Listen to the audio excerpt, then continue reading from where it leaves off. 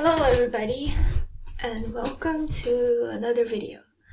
Um, in my last video I showed you how to download uh, climate model data from the CMIP 5 project and I mentioned I was going to show how to visualize it and I haven't done that yet so we're going to do that today.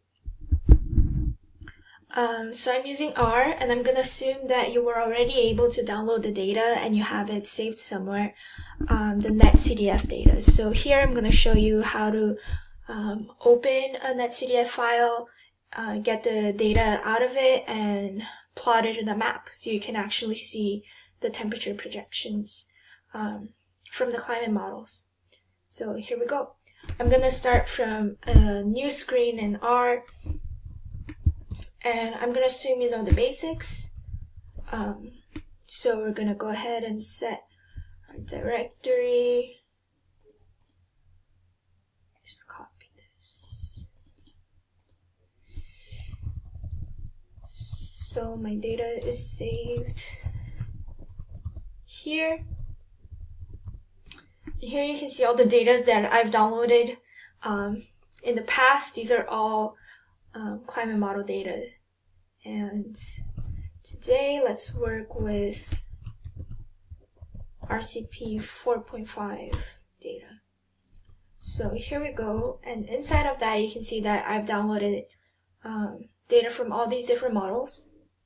So Access, CanESM, um, GISS, IPSL, these are all the data that I've downloaded before, so we're just gonna work from one of these.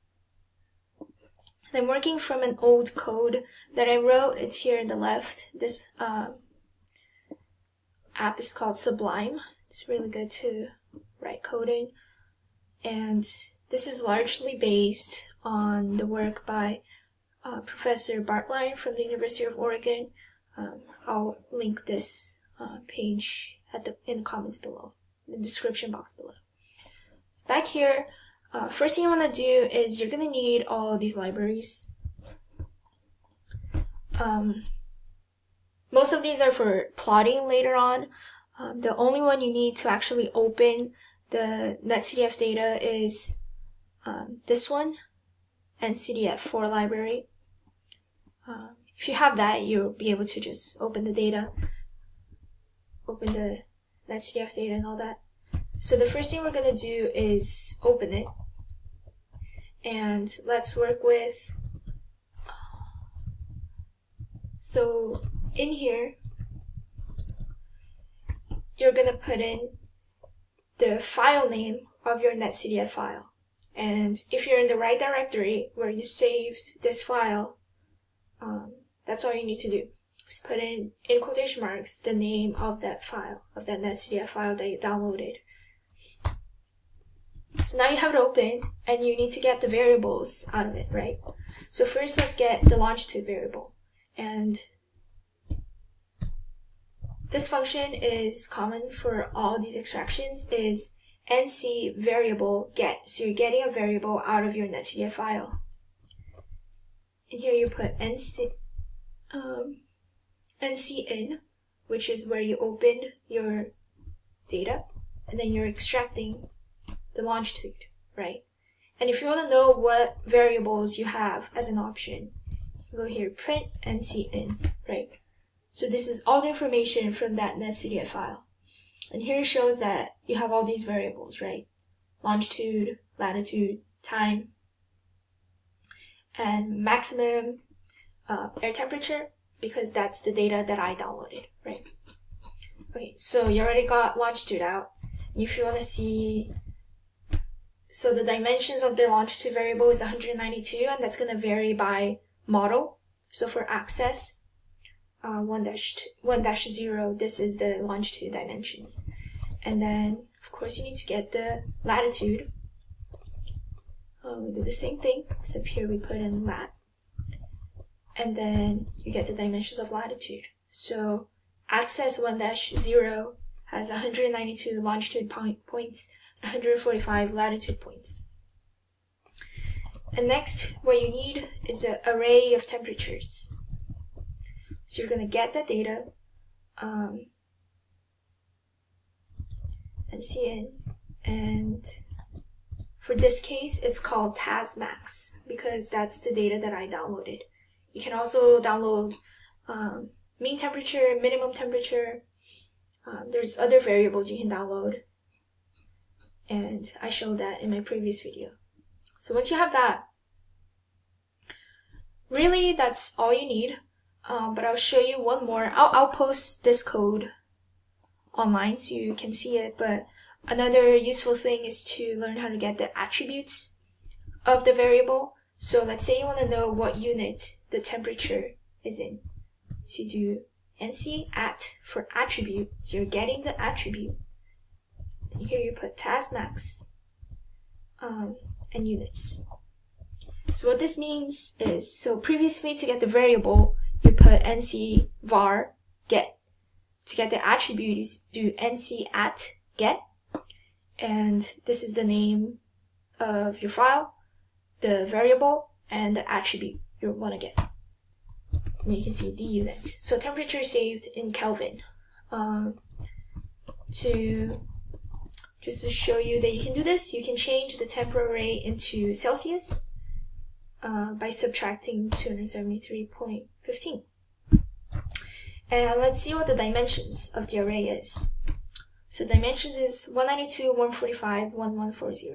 So how it works is your temp array, so your temperature is saved in a three-dimensional um, file. You can just think about it that way. It's not really like that, but imagine here you have um, latitude, longitude, and temperature goes out of the screen, right? So you have this box.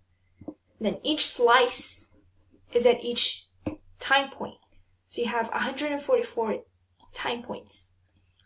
And the time unit is in days after the first unit the first date.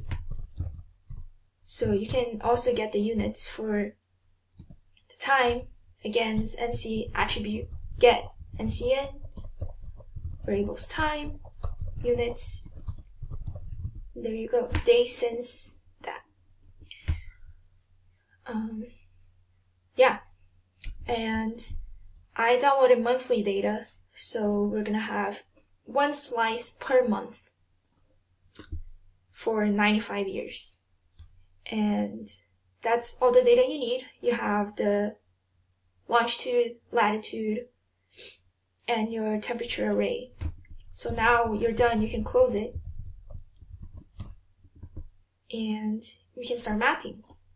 And an easy way to map is you need to get a slice, right? You can, I mean, you can uh, plot three dimensions, but show you how to plot it in two dimensions so we can see it in the map. So you get a slice of your array, all um, longitudes, all latitudes, and the first timestamp. So this is going to be January right?